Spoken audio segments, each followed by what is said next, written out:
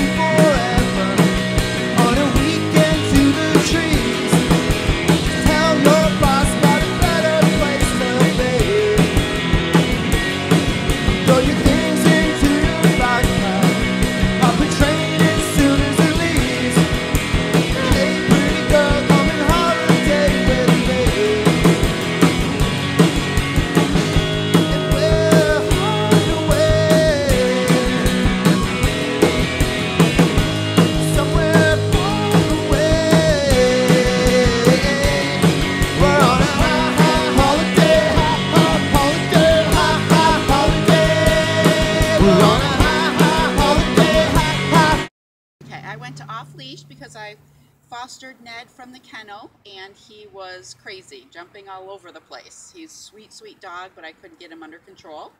He's been with off leash for two weeks now, and as you can see, he's nice and relaxed. Um, we've done some commands, and he's done really well. And I think I'm going to be really excited to continue the training and have him be a really disciplined dog.